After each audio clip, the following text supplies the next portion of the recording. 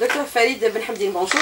Bonjour Soïla, bonjour tout le monde. Alors le médicament, beaucoup d'intérêts, beaucoup d'enjeux. Le marché de, euh, mondial euh, représente un peu plus de 1100 milliards de dollars de chiffre d'affaires. Un chiffre d'affaires généré de moitié par euh, les États-Unis. en deuxième position arrive la communauté ou l'Europe avec l'équivalent de 200 milliards de dollars de recettes dans la vente de produits pharmaceutiques. En Algérie, l'enjeu est de 3,800 millions 3 euh, milliards 800 millions de dollars. Est-ce qu'on peut considérer qu'il y a beaucoup de lobby dans le domaine du médicament, docteur Benhamdi, aujourd'hui? Un marché extrêmement lucratif. Oui, merci de m'avoir invité. C'est un marché lucratif, mais c'est un marché indispensable et nécessaire parce qu'il il soigne, il guérit. Donc euh, ce n'est pas un marché comme les autres.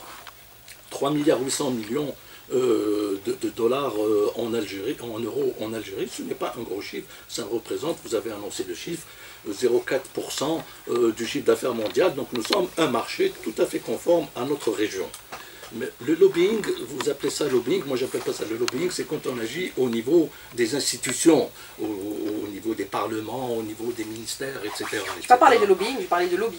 De lobby. Eh ben, des lobbies sont faits par des lobbying, mais euh, et puis ensuite vous avez le conflit d'intérêts le conflit d'intérêt qui, est tout à fait autre chose. C'est quelqu'un qui, occupe une fonction administrative et qui a des intérêts personnels. Et le conflit se fait entre ses intérêts personnels et, la tâche et la mission qu'il a à accomplir dans le cadre de sa fonction. Ensuite, vous avez les liens d'intérêt. Les liens d'intérêt, c'est quand on fait du lobbying sans le savoir ou sans le vouloir et d'une manière euh, consciente ou inconsciente. Donc, euh, il ne faut pas confondre lobbying, les liens d'intérêt et, et conflit d'intérêt et marketing. Mais qu'est-ce que vous entendez aujourd'hui euh, par conflit d'intérêts par rapport à l'Algérie, docteur Khalid Benhamdi? Écoutez, le, conflit d'intérêts, euh, tout, part en fait du, marketing et de la manne générée par la vente de ces médicaments. Vous avez cité les chiffres astronomiques à travers le monde.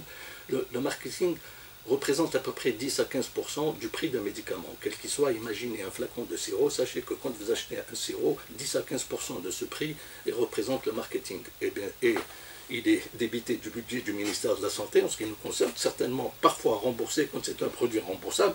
Donc c'est 15%, vous faites le calcul rapidement, 15% de 3 milliards 800, ça fait, ça fait quand même pas loin, pas loin de, ça fait comme, pas loin de 300 millions d'euros, 300 400 millions d'euros, c'est énorme. Donc cet argent permet de faire le marketing. Et le marketing se fait de deux manières. Vous avez tout le monde fait le marketing. Les marques de sirop, les voitures, les télévisions, les ordinateurs, tout ce que vous voulez, c'est du marketing. Mais seulement pour ces marques-là, personne ne vous dit de les acheter. Vous faites, c'est votre choix personnel. Tandis qu'un médicament, il est prescrit par un médecin, donc on ne vous donne pas le, on vous demande pas, on, vous prescrit tel médicament, vous allez l'acheter. Ou conseillé par un pharmacien et délivré par un pharmacien qui peut donner le générique quand il est le produit est substituable, il peut donner le générique qui lui convient le mieux ou qui l'intéresse le plus. Donc, le, médicament est un produit spécial dans son marketing. Et ce marketing doit servir, entre autres, à la formation médicale continue.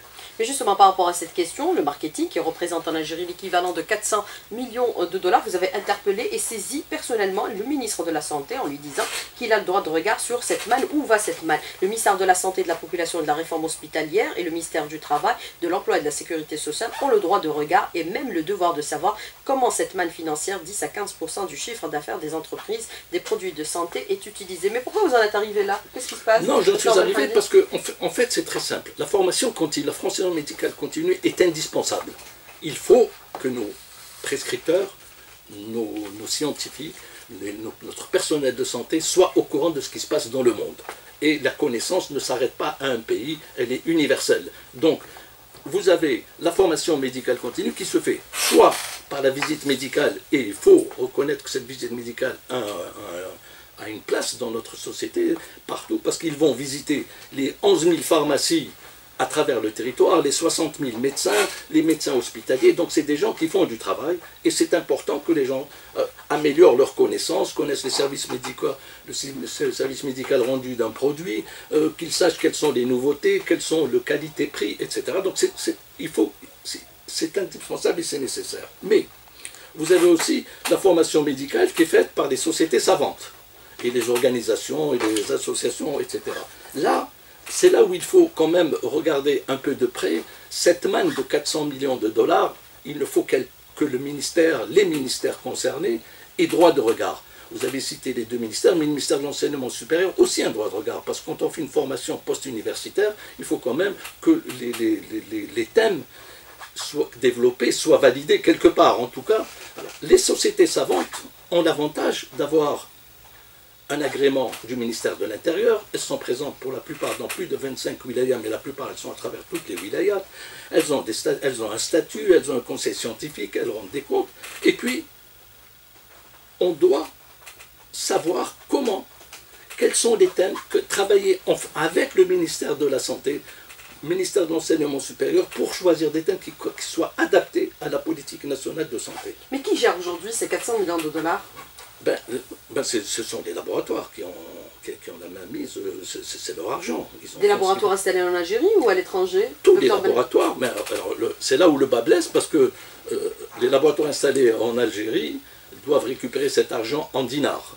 Donc en principe, ils peuvent le, Mais la plupart ont des budgets à l'étranger, ils utilisent ces budgets pour, euh, pour organiser des événements à l'étranger. Mais quel est le choix Il n'y a pas que la formation continue qui s'adresse aux médecins, aux pharmaciens, aux dentistes, au personnel de santé. Il y a d'autres endroits où il faudrait dépenser cet argent. Vous avez, ils peuvent subventionner les start-up du secteur de, la santé, les bibliothèques universitaires et les hospitalières, les véritables formations post-universitaires validées par les deux ministères de la Santé et le ministère de l'Enseignement supérieur, les structures de garde, les, les revues scientifiques, des bourses de formation, des participations au recrutement par l'Agence nationale du médicament, des produits pharmaceutiques, pour justement contrôler ce genre d'opération, des campagnes de dépistage, de la prévention, la création de sites, de sites web pour la publication des recherches scientifiques et principalement médicales sous forme de plateformes interactives, l'aide financière aux petits laboratoires qui sont à travers les universités, les différentes universités d'Algérie, la création de sites web d'information grand public gratuits, je, dans, dans, le cadre de la prévention des maladies infectieuses, le tabac, l'obésité, le sucre, etc., etc. Et il y a d'autres actions d'intérêt public. Il faudrait justement que cette manne n'aille pas seulement dans une formation continue limitée à des, à congrès, des séminaires, des journées et des visites médicales, mais qu'il y ait aussi un, que ça soit partagé par la communauté scientifique en général et la collectivité euh, des malades également. Mais est-ce qu'on peut considérer que dans l'étape actuelle, puisque vous en parlez, vous avez même saisi le ministre autour de cette question, cette manne est gérée de façon transparente ou dans l'opacité? Docteur Khalid Belhamdine, rapidement s'il vous plaît. Oui, alors très rapidement. Vous savez, ce problème ne s'est pas posé qu'en Algérie, il s'est posé partout dans le monde. Donc, bien Mais si vous saisissez euh, le ministre algérien de la Santé. Oui, oui, oui non. C'est-à-dire qu'il faut créer, il faut créer un site de transparence, un système de transparence. Ce n'est pas transparent actuellement? Non, ce n'est pas parce que rien n'est prévu pour. Il y, a, un texte réglementaire de, de 1900, du 6 juillet 1992, un décret qui dit qu'il est interdit aux fabricants, aux importateurs, aux sociétés de promotion de donner ou permettre de donner directement ou indirectement au personnel de la santé des primes, des objets, aux produits en quelconque ou des avantages matériels de quelque nature que ce soit. Bon, pas le, le texte existe. Bon, mais est-ce qu'il est appliqué euh, Oui ou non? Moi, je peux vous dire que non. Donc, euh, puisque euh, il y a des invitations qui se font tous les jours, des, des, stylos, des cadeaux, etc., tous les jours. Donc, mais pour cela, pour combattre ça, c'est pas très compliqué. Enfin, c'est compliqué et pas compliqué. C'est la transparence. Il y a, on doit avoir des déclarations obligatoires au niveau du ministère de la Santé en disant l'association Intel a eu tel budget pour l'année pour l'organisation de ceci. Monsieur le professeur Intel a eu ceci. Le pharmacien Intel a eu cela, etc. Tout doit être déclaré. Et il y a deux grandes associations à travers le monde. Il y a une qui s'appelle Sunshine Act.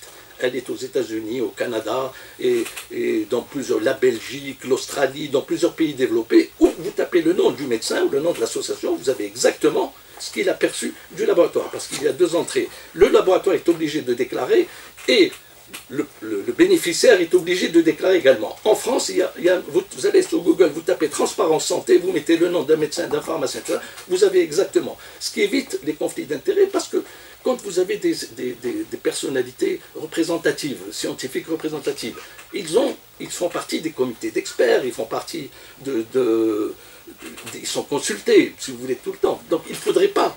Il faudrait qu'on sache de quoi quels sont leurs liens avec les gens dont ils défendent le produit éventuellement. Mais cette transparence n'existe pas en Algérie de façon concrète Vous avez dit pratiquement, euh, je peux vous dire, oui, elle n'existe pas. Vous le confirmez encore une fois? Non, elle n'existe pas, non, bien sûr. Mais il faut, mais il faut qu'elle existe. Mais certains considèrent que, euh, bien sûr, euh, cette manne qui est très importante, l'équivalent de 400 millions de dollars qui est consacré justement à cette question de marketing par les laboratoires étrangers, sert en quelque sorte à un transfert illicite de dividendes. C'est vrai ou c'est pas le Là, je ne, très franchement, je ne, connais pas la réponse. Je, ne sais pas. En principe, j'espère que non. Mais enfin, je ne vois pas comment on peut transférer des dinars autrement que par la Banque d'Algérie. Et il y, a un cadre législatif à ce sujet. Il y a par contre des petites choses qui se font que, je dénonce, que je dénonce officiellement d'ailleurs. Il y a des gens qui, ne sont pas, qui ne représentent qu'eux-mêmes, qui sont soit médecins à l'étranger, soit et qui décident d'organiser, qui n'ont pas d'agrément qui, ne sont pas une personnalité euh, euh, scientifique euh, mondiale, genre prix Nobel ou un truc comme ça, et qui qui organisent des congrès, des conférences en Algérie. Là, vous en avez une qui aura lieu le, 29 et le 30 juin au Centre international de conférences. C'est une dame qui, est installée qui est qui est à l'étranger, il y a son adresse, les montants sans aider. Bon, qui passe par des sociétés de communication plurisectorielles, et puis cet argent, on ne sait pas ce qu'il devient, mais si vous voulez, pour moi, ce n'est pas une affaire, l'argent ne me concerne pas. Ce n'est pas mon travail, il y a des services qui sont spécialisés. Moi, je dis que lorsqu'on vient de l'étranger organiser une conférence, la moindre des choses, c'est demander l'accord du ministère de la Santé, du ministère de l'Enseignement supérieur, du Conseil de l'Ordre, des médecins, conseillers et des pharmaciens, pour que ce soit validé. Parce que très souvent, les thèmes ne correspondent pas forcément à la politique nationale de santé ou la politique nationale du médicament en Algérie. Ils viennent parce qu'ils sont là, parce qu'il y a un terrain. Et moi-même, j'ai été contacté par une société, par une, par une société, par un monsieur, un privé qui vient, qui veut organiser, ça euh, ça fait académie, des liens avec des universités euh, étrangères de, de, renom, etc., qui veulent organiser un congrès, mais euh, qui vous êtes, comment, comment vous voulez travailler, si vous voulez, ce n'est pas clair. Il y a un champ qui est vide. Les gens, les, petits malins viennent s'incruster là-dedans. Et moi, je condamne. Je dis que tout le monde a le droit de faire du travail, de la formation, du marketing. Il faut que ce soit transparent. Je ne pense pas que demander la transparence pose un problème à nos, nos concitoyens ou aux laboratoires, ou aux leaders d'opinion, aux associations, je ne pense pas que ça leur porte atteinte, au contraire. Mais est-ce qu'on peut considérer que ces lobbies et ces intérêts euh, favorisent plus l'importation à la production nationale aujourd'hui? Parce que nous savons que dans le médicament, depuis des années, on met en place des, euh, un cadre législatif pour essayer de réguler, on n'arrive pas encore.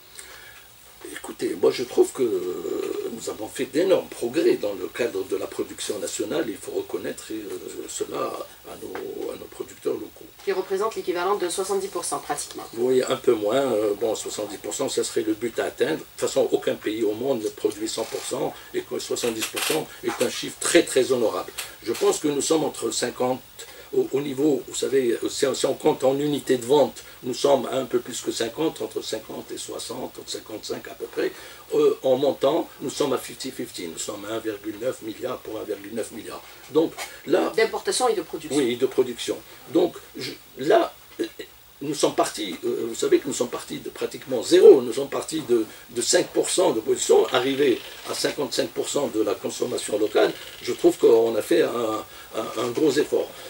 Mais il reste encore, il faut que nos industriels apprennent à faire des, fusions-acquisitions, il faut qu'ils s'agrandissent, et il faut passer par la recherche, il faut, maintenant ils ont fait le maximum de ce qui pouvait être fait. Il faut passer à autre chose, à mieux, à plus. Alors, euh, docteur Falid Melhabdi, moi je voudrais revenir avec vous sur la question comment consacrer aujourd'hui plus de transparence par rapport à cette manne qui est consacrée au marketing, qui est l'équivalent de 400 millions de dollars. Est-ce qu'il faudrait appliquer et réactualiser le décret dont vous avez parlé dans la première partie, à savoir le décret euh, du 6 juillet 1992 relatif à l'information médicale et scientifique sur les produits pharmaceutiques à usage de la médecine humaine et son article 27 euh, en particulier? Docteur Benhamdi, c'est ce qu'il faudrait faire? Ben, il est évident que si cet article a été, si ce décret a été publié, il faudrait qu'il soit respecté, donc bien sûr. C'est-à-dire on était en avant-garde en 92 déjà Oui, oui, bien sûr, et donc ça fait 26 euh, ans que ce. Vous savez, travailler aussi avec tous les partenaires qui peuvent peut-être apporter quelque chose Absolument. Vous savez, la participation à ces formations médicales continues, dont on, a parlé, les congrès. Mais tout le monde en profite aujourd'hui. journaux. Vous avez des résidents, par exemple, j'en ai vu pas mal sur Facebook, qui sont tout le temps au forum médical. Absolument. Mais, mais le, problème de ces FMC, des formations de médical c'est qu'elles ne garantissent pas l'appropriation de nouvelles connaissances, ni le développement de nouvelles compétences et le transfert des acquis dans l'exercice professionnel, car elles, ont, elles répondent à des, plus à des objectifs qu'à des compétences à atteindre. Le but, ce n'est pas seulement de vous former, c'est quand même, il y a des objectifs commerciaux, et c'est normal, et financiers derrière. Et donc, pour revenir à, votre question, on vous dit, c'est Albert Camus, je reprends à peu près une phrase d'Albert Camus, mais un peu adaptée à ce que je vais dire, consciemment ou, ou inconsciemment, on s'écarte de l'éthique, il faut des règles et des textes réglementaires et veiller à leur application. C'est-à-dire que quand inconsciemment on s'écarte de l'éthique, il faut qu'on nous oblige à respecter cette éthique et ses règles de fonctionnement. C'est pour ça que je vous ai parlé du Sunshine Act, des sites obligatoires de déclaration et de transparence santé et d'autres au Japon, etc., où tout peut se faire, mais ils sont, les, les entreprises sont obligées de rendre publique l'existence des conventions qu'elles concluent avec des personnes physiques ou morales qui ont des activités de santé ou en lien avec la santé. Ça doit être déclaré. Je crois que demander de la transparence n'est pas une insulte ni une injure, au contraire. Mais est-ce qu'on peut considérer que l'intérêt des laboratoires, c'est de travailler justement euh, euh, avec ces prescripteurs, parce que c'est eux qui finissent, en fin de compte, par véhiculer et vendre ce médicament Absolument, absolument. Mais avec c'est une publicité détournée, parce que publicité ouverte, ils ne peuvent pas le faire. Non, pour le médicament, c'est prohibé. C'est pas, pas, non, la, la, publicité peut se faire quand les médicaments ne sont pas remboursés, quand ils sont en vente libre. Mais la publicité, elle peut se faire dans des revues spécialisées. Donc, si on veut, un laboratoire peut s'adresser à faire son marketing ou sa promotion à travers les revues spécialisées, et là, c'est autorisé. Non, vous savez, c'est l'éthique. Moi, je pense que, à part la transparence de ce qui est fait, de ce qui est donné, on ne peut pas.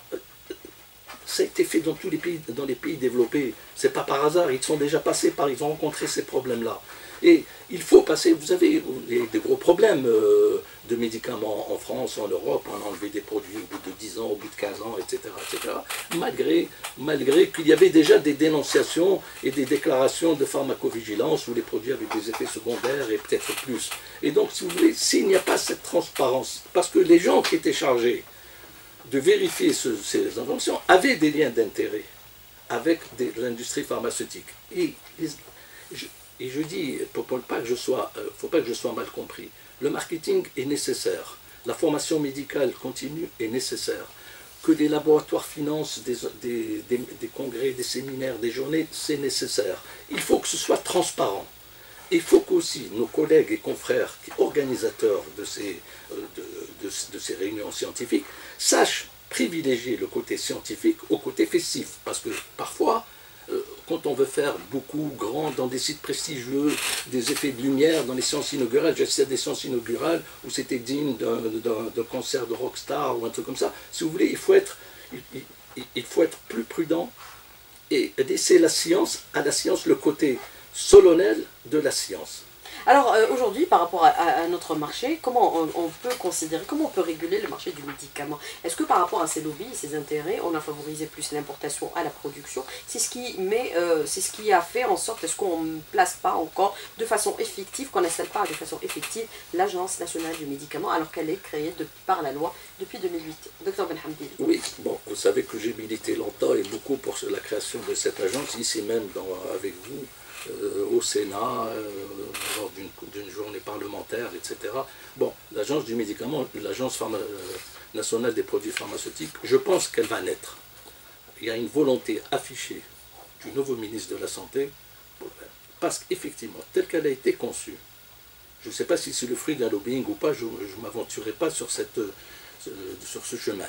Mais quand elle a été créée en 2008, moi, je l'ai signalé, pas moi, mais tous, mais beaucoup, mais moi, je l'ai fait officiellement chez vous et en plus au Parlement. Je dis que c'était un mort-né. C'était une agence qui n'avait aucune prérogative, aucun moyen pour fonctionner normalement. Mais est-ce qu'on peut considérer aujourd'hui que la direction de la pharmacie doit disparaître au profit de l'Agence nationale du médicament, puisqu'il y a eu changement à la tête euh, du directeur général de la pharmacie au niveau du ministère? Écoutez, moi je fais, moi, moi je fais confiance aux gens qui arrivent. Le, le nouveau ministre de la Santé a affiché une volonté de réformer la santé. Parce qu'effectivement, notre ministère, c'est le ministère de la Santé, la population et de la réforme hospitalière. Mais est-ce qu'il suffit seulement de volonté Il faut agir. Voilà. Il veut faire du neuf. Pour faire il faut agir. Pour faire du neuf, il faut avoir du personnel neuf. Donc je pense que c'est ce qu'il fait. Là, il est en train, il, a, il, a changé, il a changé beaucoup de direction. Il bon, c'est très bien. Euh, ça ne veut pas dire que ceux qui étaient là n'étaient pas compétents ou intègres. Directeur de la pharmacie, directeur de cabinet Oui, en, tout cas, le directeur de la pharmacie que je connais personnellement est un monsieur honorable. Bon, mais il ne correspond pas forcément à la nouvelle stratégie du ministre de la Santé. Ça fait partie de son pouvoir régalien de désigner une équipe, parce que c'est lui qui sera jugé, c'est lui qui rendra des comptes au président de la République et au gouvernement. Donc, il a raison, il, a, il est dans son droit de changer, de mettre en place une équipe. J'ai lu, comme vous, que la direction de la pharmacie risquait de disparaître. Je ne pense pas qu'elle disparaîtra complètement, parce que dans tous les pays, il reste une direction, mais qui s'occuperait de la politique nationale du médicament c'est-à-dire les grandes lignes, etc. Mais tout ce qui est réglementaire, enregistrement, euh, conformité, etc., passerait à l'Agence nationale des produits pharmaceutiques. Et je suis content que dans la loi sanitaire, on ait sorti ça du carcan de la loi et qu'on a dit qu'il allait y avoir des décrets d'application qui seront adaptés. Je pense que c'est le chemin qui a, été, choisi par notre ministre de la Santé. Euh, je lui fais confiance parce qu'il a annoncé qu'il allait le faire. Je n'ai aucune raison de ne pas le croire. En tout cas, il faut qu'il sache que nous, les, la stagiaire de pharmacie est à ses côtés. Lui et la future directeur ou directrice de l'agence, nous sommes à ses côtés pour l'aider dans cette tâche. Oui, mais est-ce que l'Agence euh, nationale du médicament a toutes les prérogatives pour mettre euh, de l'ordre dans tous ces dysfonctionnements? Non, en partie ceux que vous dénoncez ce matin, docteur Benhamdi. Oui. Les questions liées au marketing et la prise en charge dans des forums médicaux. Il y, a, il y a une section marketing, promotion, etc. Et je pense qu'elle sera prise en charge. Et, et c'est pour ça que vous avez parlé d'un courrier que j'ai fait au ministère de la Santé. Effectivement, j'ai dénoncé ce qui ne se passe de manière le plus officiellement, et je signe, ce n'est pas un tract, c'est tout à fait officiel, et pour qu'il intègre cette notion au niveau de l'agence quand elle sera créée. Quand elle sera euh, créée, effectivement, quand elle aura les pouvoirs et les prérogatives et les moyens de travailler. Alors, docteur euh, Khalid Benhamdine, des questions des auditeurs. Bien sûr, on a réussi à faire des captures d'écran pour les questions qui ont été posées avant la coupure de 8h30, euh, puisqu'un auditeur dit dommage, on ne pourra pas poser nos questions parce qu'il y a la coupure d'Internet à partir de 8h30. Il y a eu certaines questions, ils vous disent euh, pour, pour quelles raisons les pénuries des médicaments touchent non seulement les produits d'importation, mais aussi les produits fabriqués localement, à l'image de produits fabriqués par Saïdal qu'on peine actuellement à trouver sur le marché. Docteur Benhamdine, rapidement, s'il vous plaît. Parce qu'il y a des programmes d'importation qui concernent aussi bien les produits finis importés que les matières premières. Qui n'ont pas été signés dans les délais. Voilà, s'ils n'ont pas, je ne sais pas, mais s'ils n'ont pas été signés dans les délais, on ne les, retrouve pas sur le marché. Donc, euh, tout simplement, il faut qu'il y ait un couloir vert pour la production locale, c'est certain. Il faudrait que leur programme d'importation soit signé en priorité, c'est certain. Il faut les soutenir et les, et les aider, c'est certain. Et c'est le seul moyen pour nous de nous en sortir. Comment augmenter aujourd'hui notre niveau de production, docteur Benhamdin Est-ce qu'il y a possibilité de parler réellement de production en l'absence de recherche?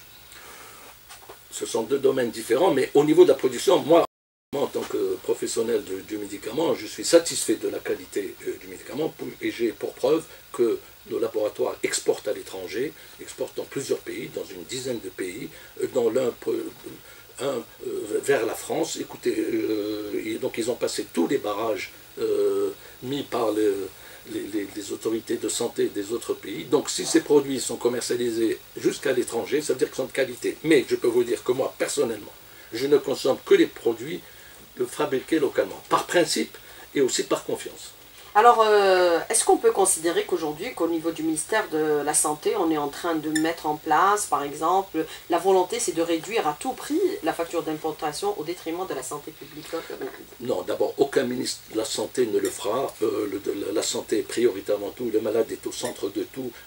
il est évident qu'il faut rationaliser nos dépenses, qu'il faut réduire nos dépenses euh, inutiles, mais il n'y a aucune euh, idée dans ce sens, il n'y a aucune tentative ou aucune action dans ce sens.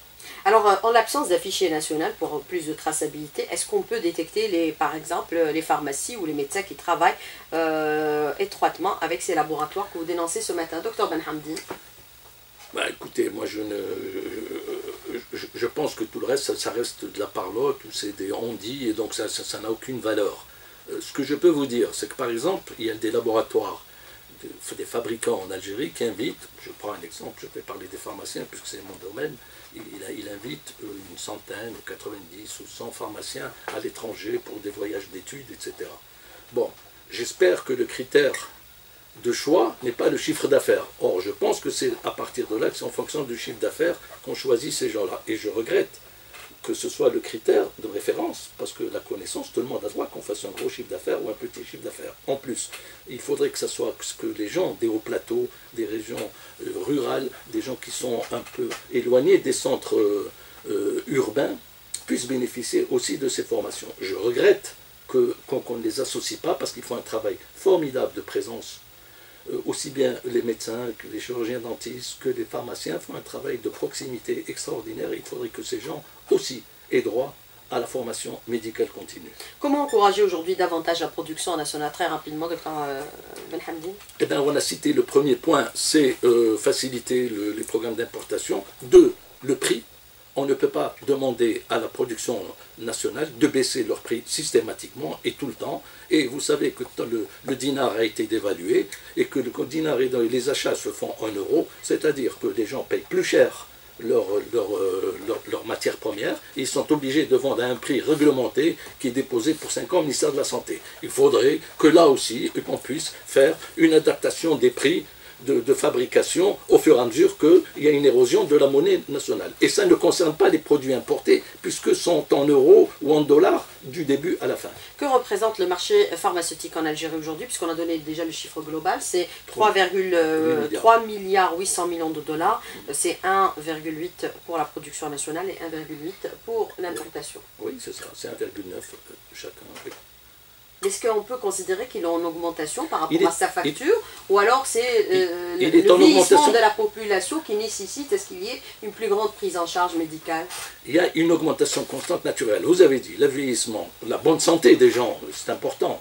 Les, moyens de diagnostic qui sont devenus plus importants. La longévité La longévité, bien sûr. Les maladies liées à la longévité, toutes les maladies des personnes âgées, euh, le, diabète, le cancer, le Alzheimer, etc. etc. Donc c'est tout à fait normal que ce que le marché du médicament augmente, mais il faut savoir éliminer les produits qui n'ont aucun intérêt et favoriser les produits euh, qui ont un intérêt, euh, service médical rendu euh, certain.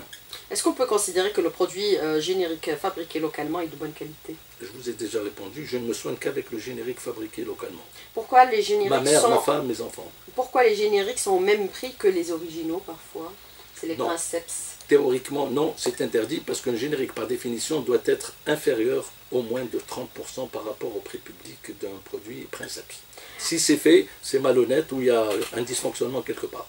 Alors, euh, docteur Ben euh, Hamdin, par rapport à ce que vous avez déclaré, est-ce qu'il faudrait peut-être pour certains dénoncer certaines pratiques, euh, comme vous le faites ce matin, c'est-à-dire aller vers certaines structures de la santé pour dénoncer certains pharmaciens qui ont recours à ce type de pratiques, c'est-à-dire par rapport au chiffre d'affaires, ils sont pris en charge par les laboratoires étrangers?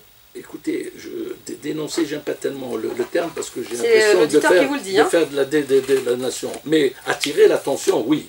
Parce que Quand vous l'avez fait, puisque vous avez saisi par une lettre C'est une affaire d'éthique, une affaire de crédibilité. Et puis, euh, bon, j'allais dire de nationalisme, peut-être que c'est un mot qui est un peu galvaudé, mais j'ai quand même honte quand, euh, on, quand on me parle de gens euh, qu'on arrive plus ou moins à, influencer, etc. Ça me, ça me gêne beaucoup. Donc je, ne dénonce pas, j'attire l'attention des autorités, je me mets à la disposition des autorités si on peut faire mieux. Je ne suis pas la justice, je ne suis pas le ministère de la Santé, je ne représente que moi-même et, les adhérents de notre association. C'est tout, mais j'aimerais que le message soit entendu, que les mesures soient prises, euh, adéquates soient prises, et nous sommes là prêts à aider. Je répète, le Conseil de l'ordre des médecins, le Conseil de l'ordre des pharmaciens sont prêts à collaborer sur ce sujet avec le ministère de la Santé dès maintenant. Alors comment encourager davantage la production nationale? Ce sera la dernière question, parce qu'on n'en a pas eu beaucoup à cause de la coupure d'Internet. Comment j'envisage Non, comment encourager davantage aujourd'hui la production nationale Je vous ai dit, c'est le prix, ne pas laisser les prix figés quand la, quand la monnaie nationale euh, euh, subit une érosion, et d'un autre côté, le couloir vert, ne pas bloquer les programmes d'importation, ou en tout cas les traiter en urgence de manière à ce que ce soit. Parce que c'est un gain évident pour notre pays. Euh, docteur Farid Benhamdi, merci d'avoir répondu à la question et d'avoir été en direct ce matin avec nous dans le studio. Merci beaucoup, bonne journée. C'est moi qui vous remercie. À très bientôt.